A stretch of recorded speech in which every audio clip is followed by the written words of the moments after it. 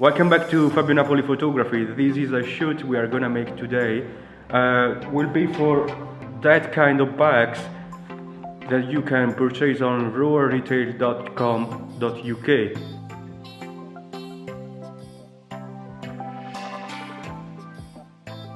So first of all, I I've already brushed up the lion to make it properly for the pictures and then I'm gonna fill up with some paper um, in order to show that this is a rucksack.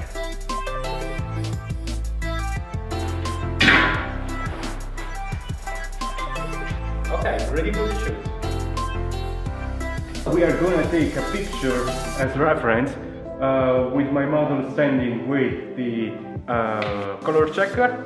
Uh, then after the proper shoot, using that pictures as reference in post-production.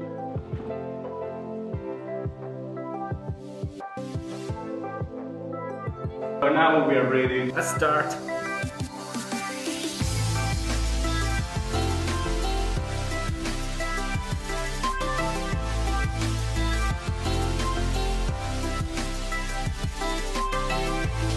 I'm going to add some reflector just for the model because Roaring Lion was very bright, but the model was not. So I'm gonna, I'm gonna fix this problem.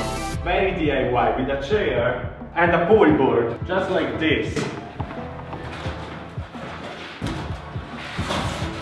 So the main idea is bounce the light coming from that reflector to this polyboard, to the model. So Let's have a look to the setup. Key light, filling light, and in the back of the model there is another light just on the floor. And two reflectors for her. Perfect. So I don't know if you can see, on the first picture she was quite dark.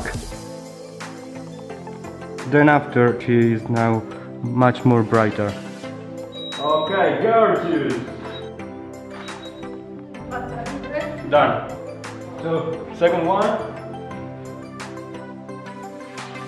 So here we are now with Tiger Girl.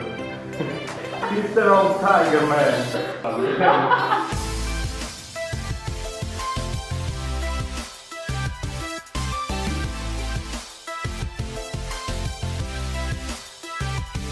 Because the fountain is absorbing a lot of light, I need to push up my light system. That's one stuff for the uh, key light and ceiling light, and don't, I'm not going to touch the uh, backlight. And now we are doing some freestyle.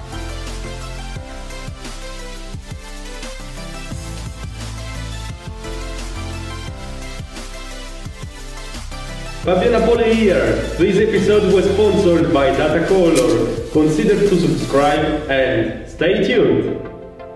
See you next time.